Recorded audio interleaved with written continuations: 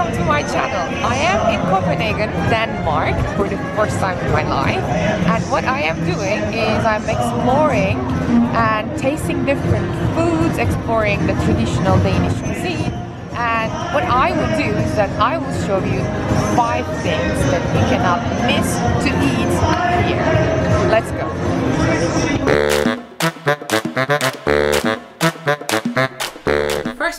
you need to go is in Papirøen and you need to try pølse, which is Danish hot dog.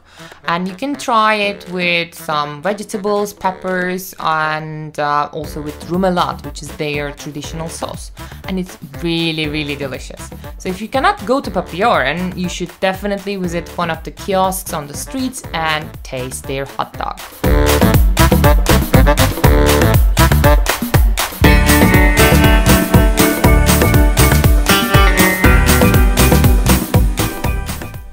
So the second thing that you should try is Danish open sandwich, which is called smørrebrød.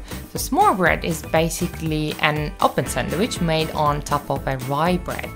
And they make this with different types of toppings and they really create an art and they decorate the sandwich. Um, the one that I tried here was with red herring and it was really delicious and it was really filling as well. And um, if you don't like fish, I mean, you can choose other types as well. Uh, but if you do like fish, then I recommend that you go to a supermarket and you can pick different types of fish uh, to put in your salad or to make different sandwiches.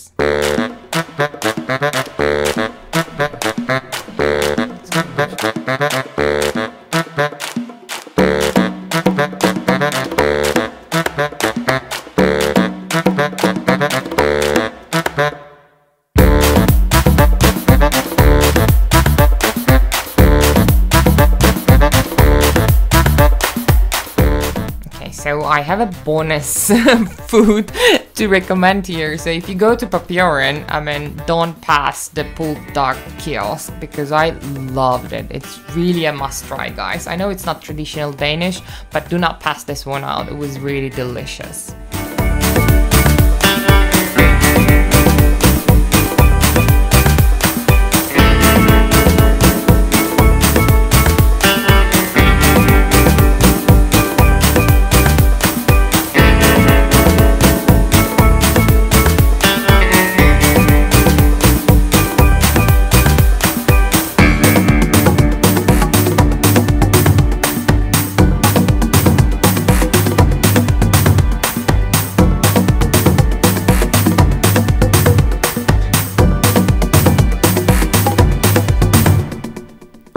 So the third thing is the Danish pastry. So you probably know the Danish pastries and you probably tried it. They are extremely famous, especially if you live in US or the UK.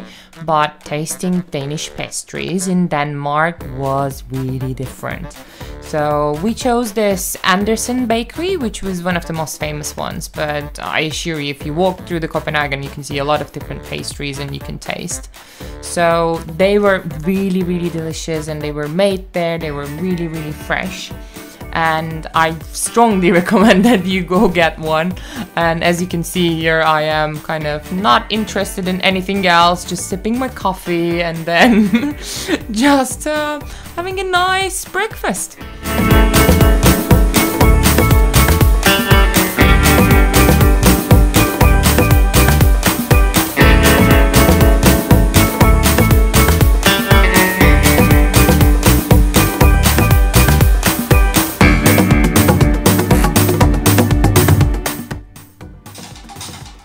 So we cannot do this video without mentioning the Danish beer. And uh, of course, when we say then Danish beer, we think about Carlsberg or Tuborg.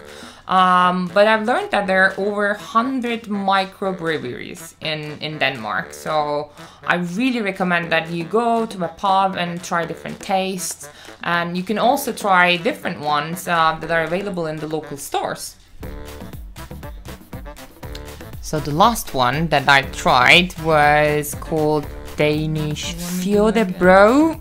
I don't know, I, I think I cannot pronounce it. So this one was highly recommended. And I picked the one that is with some cream and with coconut. So it's basically like marshmallow. It's a bit difficult to eat because you don't really know how to get it.